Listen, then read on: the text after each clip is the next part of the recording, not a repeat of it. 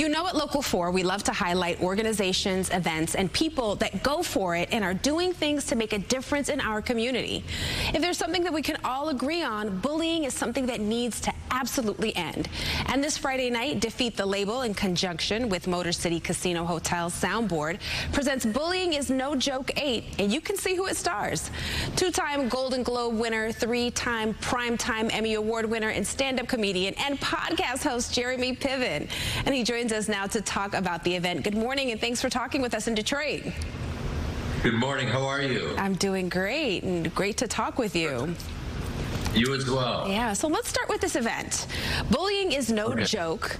Why is it important for you to be a part of this message through comedy? Um, I, I think when when you make people laugh, um, first of all, we all love to laugh, and we need to laugh now more than ever. I feel like, um, and when you're talking about an issue like this, it's it's good to come together and have a laugh, and then when you have that information, kind of you, you receive it. I think more profoundly if you're not being yelled at, if you're not being bullied about bullying. How about that? that makes perfect sense. Like you're having a conversation about it instead of feeling like someone is like instructing you on what not to do.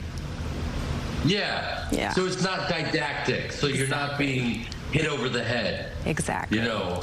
These are all very strange metaphors when we're talking about bullying. right. Well, people obviously know you from your roles on TV and in movies. But what do you love being on? What do you love about being on stage in addition to being in front of the camera? Well, I'm looking at myself in the camera right now and I'm going like, what happened to my face?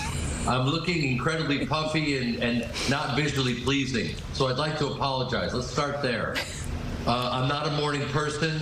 Um, uh, I love I love stand up right now more than anything. It's uh, it's just a it, it's a way. I'm from the Midwest. I'm from Chicago actually, you know, a lot of the people in Detroit may know me as the guy. I used to do a lot of Chicago Blackhawks commercials where we chanted Detroit sucks. So I'd like to apologize for that.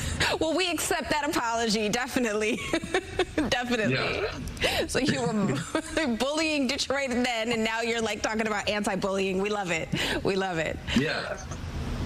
So you also absolutely you also did a podcast called How You Live in J Piven. What did you enjoy about that form of media?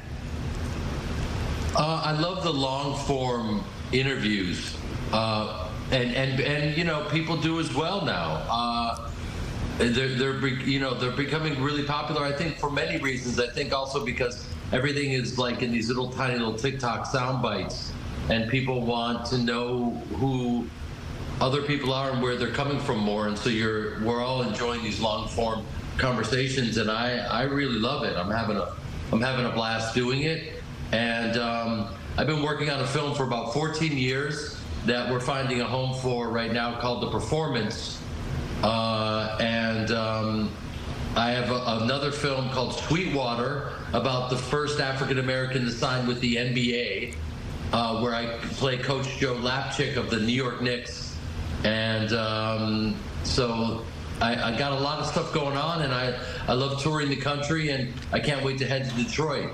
Yeah, we can't wait to have you, and it's really cool that you still get to do a little bit of everything that you love.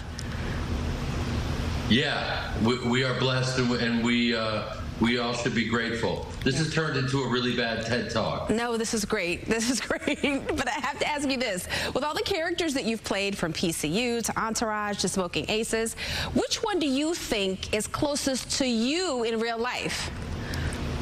That's a great question and really great question. And, you know, it's so funny because what that question really means is are you Ari Gold? Are you an and that's what it really means. And I understand that. And the reality is that um, is that I'm closest to a character called Harold May that I play in the performance. Uh, that I can't wait to show you guys, and we're we're trying to figure out where the home is for it right now. But uh, I play a Jewish tap dancer, uh, and in an effort to become successful, hides the fact that he's Jewish and dances for Hitler. Oh, and very profound and heavy. And Um, you know, it, it's the type of t- speaking about podcasts. It's the type of movie that I think will inspire a lot of interesting podcasts. Yeah, I definitely think it will. That that's heavy there, but you could make that funny and interesting too. So thank you for telling us about that as well. What can people expect at the show? Um, it will be funnier than this interview. That's all I can tell you. we'll take that. We'll take that. Jeremy Piven, thank you so much for being with us. Thank you so much. I'll see you soon. See you soon. Again, the event is Bullying is No Joke 8, starring Jeremy Piven. It is this Friday night at Soundboard at Motor City Casino. Tickets are available through Ticketmaster. This is a 21 and over show, so please keep that in mind.